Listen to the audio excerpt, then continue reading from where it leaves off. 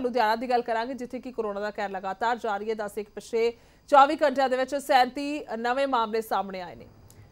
ਲੁਧਿਆਣਾ ਦੀ ਗੱਲ ਕਰੀਏ ਤਾਂ ਬਹੁਤ ਹੀ ਜ਼ਿਆਦਾ ਗੰਭੀਰ ਸਥਿਤੀ ਵਿੱਚ ਹੈ ਲੁਧਿਆਣਾ। ਪਿਛਲੇ 24 ਘੰਟਿਆਂ ਦੇ ਵਿੱਚ 37 ਨਵੇਂ ਮਾਮਲੇ ਸਾਹਮਣੇ ਆਏ ਨੇ ਔਰ ਜ਼ਿਲ੍ਹੇ ਦੇ ਵਿੱਚ ਕੋਰੋਨਾ ਦੇ ਮਾਮਲੇ ਜਿਹੜੇ ਨੇ 396 ਹੋ ਗਏ ਨੇ। 396 ਮਰੀਜ਼ ਇਕੱਲੇ ਲੁਧਿਆਣਾ ਦੇ ਵਿੱਚ ਹੋ ਗਏ ਨੇ। 24 ਘੰਟਿਆਂ 'ਚ 37 ਮਾਮਲੇ ਸਾਹਮਣੇ ਆਏ ਨੇ। ਸਵਾਲ ਬਹੁਤ ਵੱਡੇ ਨੇ, ਕਿਸ ਤਰ੍ਹਾਂ ਦੇ ਨਾਲ ਪ੍ਰਸ਼ਾਸਨ ਨਜਿੱਠੇਗਾ ਜਦ ਕਿ ਲੋਕ ਸੜਕਾਂ ਤੇ ਨੇ, ਆਵਾਜਾਈ ਤੇ ਨੇ, ਆਪਣੇ ਕੰਮਾਂ ਕਾਰਾਂ ਤੇ ਨੇ ਰੋਜ਼ ਦੇ। ਸੋ ਲੁਧਿਆਣਾ ਦੀ ਗੱਲ ਕਰ ਰਹੇ ਹਾਂ, ਜਿੱਥੇ ਕੋਰੋਨਾ ਦਾ ਕਹਿਰ ਲਗਾਤਾਰ ਵੱਧ ਰਿਹਾ ਹੈ। ਮਹਾਨਗਰ ਹੈ, ਇੰਡਸਟਰੀਅਲ ਏਰੀਆ ਹੈਗਾ, ਯਾਨੀ ਕਿ ਇੰਡਸਟਰੀ ਇੱਥੇ ਜ਼ਿਆਦਾਤਰ ਹੈ। ਫੈਕਟਰੀਆਂ ਵਿੱਚ ਲੋਕ ਵਾਪਸੀ ਕਰ ਚੁੱਕੇ ਨੇ। ਫੈਕਟਰੀਆਂ ਚੱਲ ਚੁੱਕੀਆਂ ਨੇ, ਮਜ਼ਦੂਰ ਆ ਰਹੇ ਨੇ, ਜਾ ਰਹੇ ਨੇ। ਕਿੰਨੀਆਂ ਕ ਇੱਥੇ ਹਦਾਇਤਾਂ ਦੀ ਪਾਲਣਾ ਹੋ ਰਹੀ ਹੈ? ਇਸ ਨੂੰ ਲੈ ਕੇ ਵੀ ਸਵਾਲੀਆ ਨਿਸ਼ਾਨ ਲੱਗਦਾ ਹੈ। ਪਰ ਦੱਸ ਦਈਏ ਕਿ ਮਾਮਲੇ ਵੀ ਬੇਹੱਦ ਹੀ ਰਿਕਾਰਡ ਤੋੜ ਸਾਹਮਣੇ ਆ ਰਹੇ ਨੇ। ਪਿਛਲੇ 24 ਘੰਟਿਆਂ ਦੀ ਗੱਲ ਕਰੀਏ ਤਾਂ ਇੱਥੇ 37 ਮਾਮਲੇ ਸਾਹਮਣੇ ਆ ਚੁੱਕੇ ਨੇ।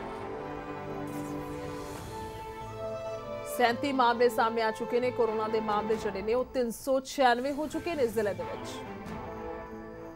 ਸੋ ਲੁਧਿਆਣਾ 'ਚ ਕੋਰੋਨਾ ਦਾ ਕਹਿਰ ਲਗਾਤਾਰ ਜਾਰੀ ਹੈ ਔਰ ਲਗਾਤਾਰ ਇਹ ਮਾਮਲੇ ਵੱਧ ਰਹੇ ਨੇ।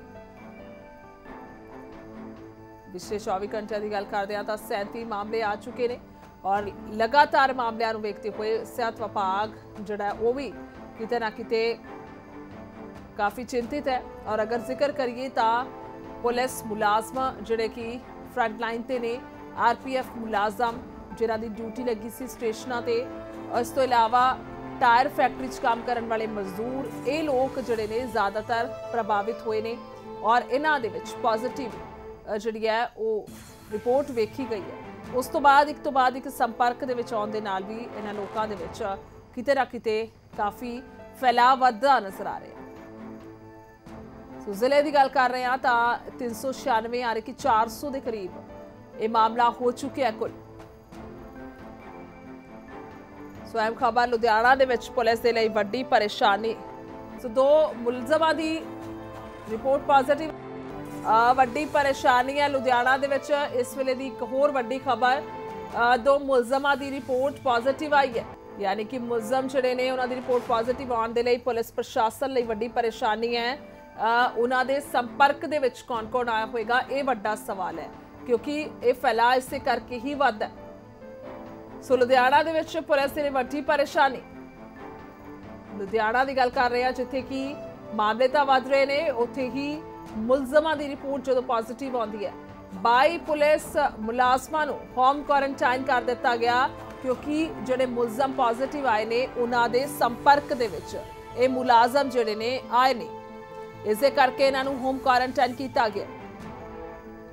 ਸੋ ਮੁਲਜ਼ਮਾਂ ਦੀ ਰਿਪੋਰਟ ਆਉਣ ਤੋਂ ਬਾਅਦ ਪ੍ਰਸ਼ਾਸਨ ਨੂੰ ਭਾਜੜਾ ਪੈ ਗਈਆਂ ਨੇ, ਪੁਲਿਸ ਪ੍ਰਸ਼ਾਸਨ ਨੂੰ, ਕਿਉਂਕਿ 22 ਜਣੇ ਜਿਹੜੇ ਨੇ ਉਹ ਹੋਮ ਕੁਆਰੰਟਾਈਨ ਕਰ ਦਿੱਤੇ ਨੇ ਕਿ ਤੁਸੀਂ ਘਰਾਂ ਵਿੱਚ ਰਹੋ ਔਰ 22 ਯਾਨੀ ਕਿ ਪੂਰੇ 14 ਦਿਨ ਦੇ ਲਈ ਤੁਹਾਨੂੰ ਕੁਆਰੰਟਾਈਨ ਰਹਿਣਾ ਪਏਗਾ। ਉਸ ਤੋਂ ਬਾਅਦ ਤੁਸੀਂ ਡਿਊਟੀ ਜੁਆਇਨ ਕਰ ਸਕਦੇ ਹੋ। ਸੋ ਦੋ ਮੁਲਜ਼ਮਾਂ ਦੀ ਰਿਪੋਰਟ ਜਿਹੜੀ ਹੈ ਇੱਥੇ, ਉਹ ਪੋਜ਼ਿਟਿਵ ਆਈ ਹੈ। ਔਰ ਹੁਣ ਇਹ ਪੁਲਿਸ ਮੁਲਾਜ਼ਮ ਜਿਹੜੇ ਕੁਆਰੰਟਾਈਨ ਨੇ, ਇਹਨਾਂ ਦੇ ਵੀ ਸੈਂਪਲਸ ਲਏ ਜਾਣਗੇ। ਔਰ ਉਡੀਕ ਰਹੇਗੀ ਕਿ ਇਹਨਾਂ ਦੀ ਰਿਪੋਰਟ ਕੀ ਆਉਂਦੀ ਕਿਉਂਕਿ ਹੋ ਸਕਦਾ ਹੈ ਇਹ ਵੀ ਸੰਕਰਮਿਤ ਹੋ ਗਏ ਹੋਣ ਜਾਂ ਫਿਰ ਫੈਲਾ ਹੋ ਗਿਆ ਹੋਵੇ। ਸਵਾਲ ਬਹੁਤ ਵੱਡੇ ਨੇ ਜੋ ਕੁਝ ਹਾਲਾਤ ਬੜੇ ਹੋਏ ਨੇ। ਔਰ ਇਸ ਦੇ ਕਈ ਤਰ੍ਹਾਂ ਦੇ ਵਿਚਾਰ ਦਿਮਾਗ ਦੇ ਵਿੱਚ ਆਉਂਦੇ ਨੇ ਔਰ ਸਵਾਲ ਵੀ ਨੇ। ਸਿੱਧਾ ਚੱਲਦੇ ਆ ਰਾਜਿੰਦਰ ਸਾਡੇ ਨਾਲ ਮੌਜੂਦ ਨੇ ਗੱਲਬਾਤ ਦੇ ਲਈ। ਰਾਜਵਿੰਦਰ, ਤੁਹਾਡੇ ਤੋਂ ਜਾਣਨਾ ਚਾਹਾਂਗੇ। ਅਗਰ ਗੱਲ ਕਰੀਏ ਹਾਲਾਤਾਂ ਦੀ ਤਾਂ ਜਿਸ ਤਰ੍ਹਾਂ ਦੇ ਨਾਲ ਇੱਕ ਦਿਨ ਦੇ ਵਿੱਚ ਇੰਨੇ ਮਾਮਲੇ ਸਾਹਮਣੇ ਆਉਣਾ ਰਿਹਾ ਇਸ ਤੋਂ ਇਲਾਵਾ ਜੋ ਮੁਲਜ਼ਮਾਂ ਦੀ ਰਿਪੋਰਟ ਆਈ ਹੈ। ਸਭ ਤੋਂ ਪਹਿਲਾਂ ਕੀ ਕਹੋਗੇ? ਨਹੀਂ ਰਹਿੰਦੇ ਨੇ। ਤੇ ਵੱਡੀ ਗਿਣਤੀ ਵਿੱਚ ਲੋਕ ਜਿਹੜੇ ਨੇ ਹੁਣ ਕਰੋਨਾ ਪੋਜ਼ਿਟਿਵ ਵੀ ਪਾਏ ਜਾ ਰਹੇ ਨੇ। ਪਿਛਲੇ 7-8 ਦਿਨਾਂ ਤੋਂ ਤਕਰੀਬਨ ਤਕਰੀਬਨ 150 ਬੰਦਾ ਜਿਹੜਾ ਹੈ ਕਰੋਨਾ ਪੋਜ਼ਿਟਿਵ ਪਾਇਆ ਗਿਆ ਹੈ। ਤੇ ਲੁਧਿਆਣਾ ਵਿੱਚ ਵੱਡੀ ਗਿਣਤੀ ਵਿੱਚ ਜਿਹੜੇ ਪੋਜ਼ਿਟਿਵ ਪਾਏ ਜਾ ਰਹੇ ਨੇ, ਜ਼ਿਆਦਾਤਰ ਲੋਕ ਜਿਹੜੇ ਨੇ ਮਾਮਲੇ ਜਿਹੜੇ ਨੇ ਸੰਪਰਕ ਵਿੱਚ ਆਉਣ ਨਾਲ ਆ ਰਹੇ ਨੇ। ਤੇ ਇਸ ਦੇ ਕਰ ਚੱਲਦੇ ਜਿਹੜਾ ਲੁਧਿਆਣਾ ਦੇ ਵਿੱਚ ਤਿੰਨ ਜਿਹੜੇ ਨੇ ਕੰਟੇਨਮੈਂਟ ਜ਼ੋਨ ਵੀ ਬਣਾ ਦਿੱਤੇ ਗਏ ਨੇ। ਸੋਹਣੀ ਮਹੱਲਾ, ਇਸਲਾਮਗੰਜ ਤੇ ਜਿਹੜਾ ਪ੍ਰੇਮ ਨਗਰ ਨੂੰ ਵੀ ਹੁਣ ਕੰਟੇਨਮੈਂਟ ਜ਼ੋਨ ਬਣਾ ਦਿੱਤਾ ਹੈ ਪਰ ਇੱਥੋਂ ਜਿਹੜੇ ਮਾਮਲੇ ਆਉਣੇ ਰੁਕ ਨਹੀਂ ਰਹੇ ਤੋਂ ਹਜੇ ਵੀ ਜਿਹੜੇ ਮਾਮਲੇ ਲਗਾਤਾਰ ਆ ਰਹੇ ਨੇ। ਤੇ ਇੱਕ ਮਾਮਲਾ ਜਿਹੜਾ ਬਿਹਾਰ ਤੋਂ ਆਈ ਮਾਈਗ੍ਰੈਂਟ ਲੇਬਰ ਦਾ ਵੀ ਆਇਆ ਹੈ ਜਿਹਦੇ ਪ- ਕੀ ਚਿੰਤਾ ਦਾ ਵਿਸ਼ਾ ਹੈ ਕਿਉਂਕਿ ਵੱਡੀ ਗਿਣਤੀ ਵਿੱਚ ਜਿਹੜੀ ਹੈ ਲੇਬਰ ਜਿਹੜੀ ਹੈ ਇੱਥੇ ਆ ਰਹੀ ਹੈ। ਤੇ ਦੋ ਜਿਹੜੇ ਅੰਡਰ ਟ੍ਰਾਇਲ ਕੈਦੀ ਜਿਹੜੇ ਪੁਲਿਸ ਦੁਆਰਾ ਫੜੇ ਗਏ ਸੀਗੇ ਏਟੀਐਮ ਨੌਸਰਵਾਜ ਉਹ ਵੀ ਜਿਹੜੇ ਨੇ ਕੋਰੋਨਾ ਪੋਜ਼ਿਟਿਵ ਪਾਏ ਗਏ ਨੇ ਜਿਸ ਤੋਂ ਬਾਅਦ ਜਿਹੜੇ ਨੇ 22 ਪੁਲਿਸ ਮੁਲਾਜ਼ਮਾਂ ਨੂੰ ਕੁਆਰੰਟਾਈਨ ਕੀਤਾ ਗਿਆ ਇਹ ਵੀ ਪ੍ਰਸ਼ਾਸਨ ਲਈ ਇੱਕ ਚਿੰਤਾ ਦਾ ਵਿਸ਼ਾ ਹੈ। ਪ੍ਰਸ਼ਾਸਨ ਕਿਤੇ ਨਾ ਕਿਤੇ ਉੱਥੇ ਜਿਹੜੇ ਆ ਮਹੱਲੇ ਜਿਹੜੇ ਕੰਟੇਨਮੈਂਟ ਜ਼ੋਨ ਜਿਹੜੇ ਬਣਾਏ ਗਏ ਨੇ, ਉਹਨਾਂ ਵਿੱਚ ਜ਼ਰੂਰੀ ਵਸਤਾਂ ਨੂੰ ਜਿਹੜੇ ਚਾਲੂ ਰੱਖਣ ਵਿੱਚ ਵੀ ਜਿਹੜਾ ਚਿੰਤਾ ਵਿਅਕਤ ਕਰਦਾ ਹੈ ਜੀ। ਠੀਕ ਹੈ ਠੀਕ ਹੈ ਰਾਜਵਿੰਦਰ, ਫਿਲਹਾਲ ਧੰਨਵਾਦ, ਸ਼ੁਕਰੀਆ ਜੁੜਨ ਦੇ ਲਈ। ਪਠਾਨਕੋਟ ਦੀ ਗੱਲ ਕਰਾਂਗੇ ਹੁਣ, ਜਿੱਥੇ ਕਿ ਕੋਰੋਨਾ ਦੀ ਰਫ਼ਤਾਰ ਤੇਜ਼ ਹੈ, ਦੱਸੀ ਕਿ ਮਾਮਲੇ 'ਚ ਲਗਾਤਾਰ ਇਜ਼ਾਫਾ ਹੋ ਰਿਹਾ ਹੈ।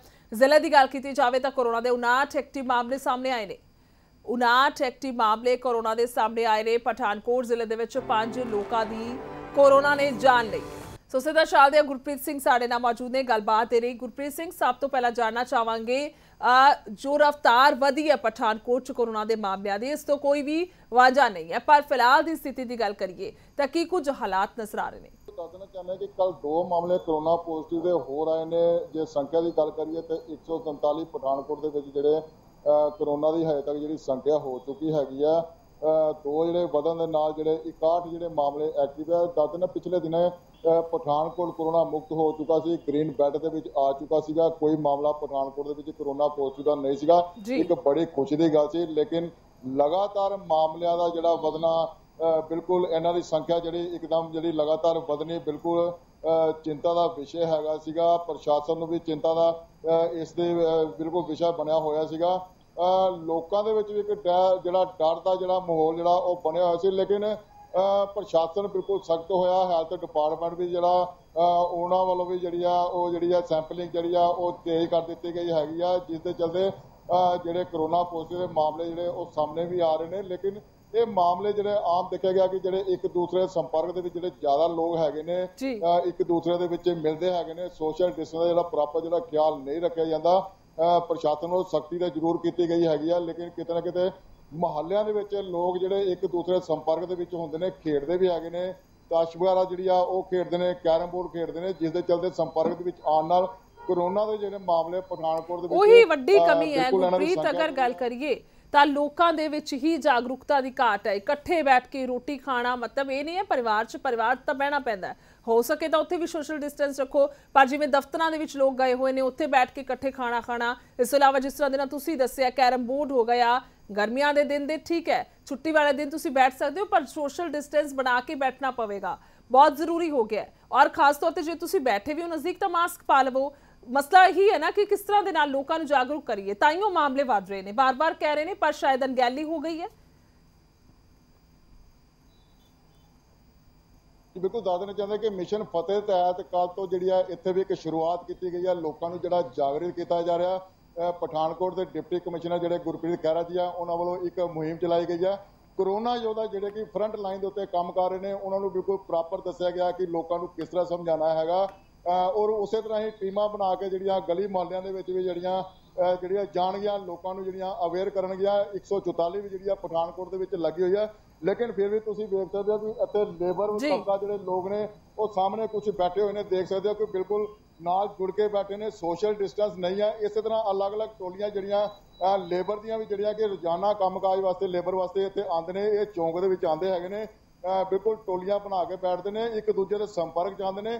ਇਸੇ ਤਰ੍ਹਾਂ ਦਾ ਮਾਮਲਾ ਜਿਸ ਤਰ੍ਹਾਂ ਅੰਦਰੂਨ ਬਾਜ਼ਾਰ ਦੇ ਵਿੱਚ ਵੀ ਹੋਇਆ ਸੀ ਜਿੱਥੇ ਕਿ ਸੁਨਿਆਰਾਂ ਦੇ ਜਿਹੜੇ ਕਾਰੀਗਰ ਹੈਗੇ ਸੀਗੇ ਜਿਹੜੇ ਕਿ ਇੱਕ ਛੱਤ ਛੋਟੀਆਂ ਛੋਟੀਆਂ ਦੁਕਾਨਾਂ ਹੁੰਦੀਆਂ ਜਿੱਥੇ ਕਿ। ਇਹ ਜਿਹੜਾ ਆਪਣਾ ਕੰਮ ਕਰਦੇ ਸੀਗੇ ਦੁਪਹਿਰ ਨੂੰ ਖਾਣਾ ਵੀ ਜਿਹੜਾ ਇਕੱਠਾ ਖਾਂਦੇ ਸੀ ਕਹਿ ਸਕਦੇ ਆ ਕਿ ਡੱਬਾ ਸਿਸਟਮ ਜਿਹੜਾ ਇੱਕ ਦੂਸਰੇ ਨਾਲ ਮਿਲ ਕੇ ਜਿਹੜਾ ਖਾਣਾ ਜਿਹੜਾ ਉੱਥੇ ਖਾਦਾ ਜਾਂਦਾ ਸੀ ਔਰ ਇੱਕ ਦੂਜੇ ਦੇ ਸੰਪਰਕ ਵਿੱਚ ਆਏ ਸੀਗੇ। ਜਿਹਦੇ ਚਲਦੇ 19 ਮਾਮਲੇ ਇੱਕ ਜਿਹੜੇ ਉੱਥੇ ਕਰੋਨਾ ਪੋਜ਼ਿਟਿਵ ਦੇ ਆਇਆ ਔਰ ਤਿੰਨ ਜਿਹੜੇ ਹੋਰ ਆਏ ਨੇ। 22 ਦੇ ਕਰੀਬ ਜਿਹੜੇ ਮਾਮਲੇ ਆਏ ਨੇ ਉਸ ਦੇ ਨਾਲ ਹੀ ਜਿਹੜਾ ਪੁੱਲੇ ਵਾਲਾ ਚੌਂਕ ਹੈਗਾ ਸੰਤ ਨਗਰ ਹੈਗਾ ਅੰਦਰੂਨ ਬਾਜ਼ਾਰ ਹੈਗਾ ਇੱਥੇ ਮਾਮਲਿਆਂ ਦੀ ਜਿਹੜੀ ਸੰਖਿਆ ਜਿਹੜੀ ਕਰੋਨਾ ਪੋਜ਼ਿਟਿਵ ਦੀ ਵੱਧ ਜਾਣੀ ਬਿਲਕੁਲ ਇੱਕ ਚਿੰਤਾ ਹੈਗੀ ਸੀਗਾ ਔਰ ਉਸ ਏਰੀਆ ਨੂੰ ਬਿਲਕੁਲ ਬਿਲਕੁਲ ਸੀਲ ਕਰ ਦਿੱਤਾ ਗਿਆ ਹੈਗਾ ਰੈੱਡ ਜ਼ੋਨ ਦੇ ਵਿੱਚ ਜਿਹੜਾ ਪਾ ਦਿੱਤਾ ਗਿਆ ਹੈ। ਕੋਈ ਵੀ ਉੱਥੇ ਲੋਕਾਂ ਨੂੰ ਬਿਲਕੁਲ ਬਾਹਰ ਆਉਣ ਜਾਣ ਦੇ ਉੱਤੇ ਮਨਾਈ ਆ ਕੰਮਕਾਜ ਦੇ ਉੱਤੇ ਮਨਾਈ ਹੈਗੀ ਆ ਲੇਕਿਨ ਜਿਸ ਤਰ੍ਹਾਂ ਪ੍ਰਸ਼ਾਸਨ ਵੱਲੋਂ ਹਦਾਇਤਾਂ ਦਿੱਤੀਆਂ ਜਾਂਦੀਆਂ ਕਿ ਸਾਨੂੰ ਮਾਸਕ ਪਾ ਕੇ ਰੱਖਣਾ ਚਾਹੀਦਾ ਡਿਸਟੈਂਸ ਪਰ ਨਹੀਂ ਹੋ ਰਿਹਾ। ਬਣਾ ਕੇ। ਰੱਖਣਾ ਚਾਹੀਦਾ ਹੈਗਾ ਸਾਨੂੰ ਇਹਨਾਂ ਚੀਜ਼ਾਂ ਦਾ ਜਿਹੜਾ ਪਾਲਣ ਜਿਹੜਾ ਉਹ ਕਰਨਾ ਚਾਹੀਦਾ ਹੈਗਾ ਕਿਉਂਕਿ ਅਗਰ ਅਸੀਂ ਆਪਣੇ ਆਪ ਨੂੰ ਅਸੀਂ ਸੇਵ ਕਰਾਂਗੇ ਤੇ ਲੋਕੀ ਵੀ ਜਿਹੜੇ ਆ ਇਸ ਕਰੋਨਾ ਪੋਜ਼ਿਟਿਵ ਦਾ ਜਿਹੜਾ ਉਹ ਸੇਵ ਹੋ ਸਕਣਗੇ ਜੀ ਠੀਕ ਹੈ ਬਿਲਕੁਲ। ਗੁਰਪ੍ਰੀਤ ਬਹੁਤ ਬਹੁਤ ਸ਼ੁਕਰੀਆ ਧੰਨਵਾਦ ਜੁੜਨ